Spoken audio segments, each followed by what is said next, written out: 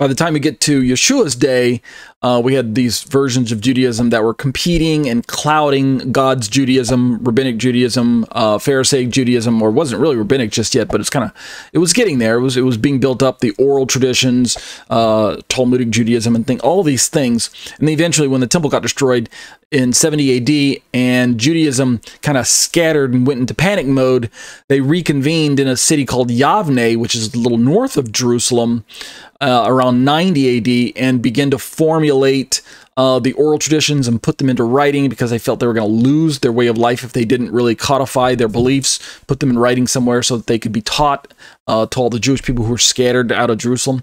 And so we could say that rabbinic Judaism, the Judaism of the rabbis, which again is radically different from biblical Judaism, because rabbinic Judaism scrambles to put together what to do in the absence of a temple, sacrifices, priesthood, and all these things.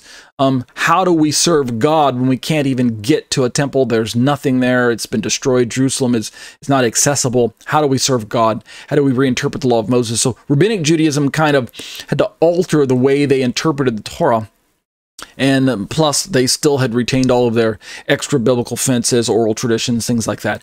And so, really, what we have now today, the rabbinic Judaism that people are used to seeing, is only a kind of a skeletal framework uh, re- resemblance when it comes to real, true biblical Judaism. It's so radically different. It departed. And so many people don't know that. But in Jesus' day, the point I'm trying to make is that Jesus realized, Yeshua realized that what his father wanted all along was the heart of a man.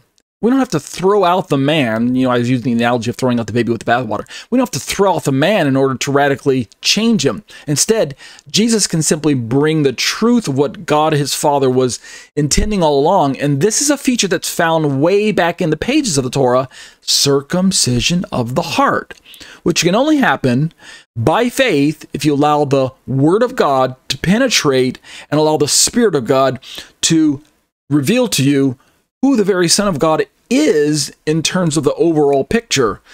The Son of God is the key to unlocking true obedience to God, true circumcision of the heart, right? Not just circumcision of flesh, right? That's good, but circumcision of the heart is better. The entire theme of New Testament teaching is good versus better. The law of Moses is good, but the law of Christ is better. We don't have to go bad good like law of Moses bad and, and law of Christ is good. Instead, we can retain the law of Moses because it was. Why do we have to retain it, by the way?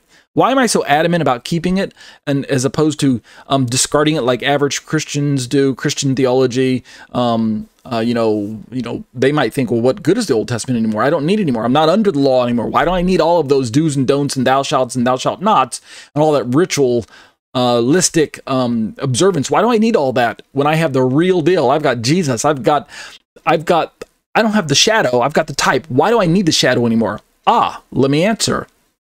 It's because we have to start with the premise, put your mind back into the foundational truth that the shadow was given by God. Let me pause and let that sink in.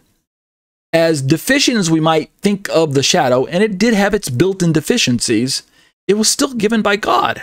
The biblical system that was described by Moses from the pages of uh, Exodus through Deuteronomy when in terms of commandments, right? Genesis being mostly narrative. That system is God's system. It wasn't made up by Moses. It wasn't made up by the people per se, right? I know they filled in for some of the missing details, their own halacha, but the overall thrust of the Torah is God breathed. Paul's going to tell Timothy, right, in uh, 2 Timothy 3 15, 16, etc. You guys know those passages. All scripture is God breathed. It's inspired by God. It's given for reproof and correction and training and righteousness and all those things, that the man of God may be equipped. So we can retain um, a Jewish way of life as long as we're keeping the Torah.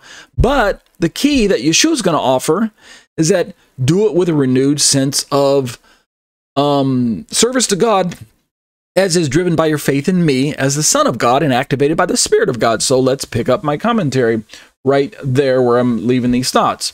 I say in my commentary, this accords with the words of Torah, and all of the apostolic scriptures agree with and affirm it as well.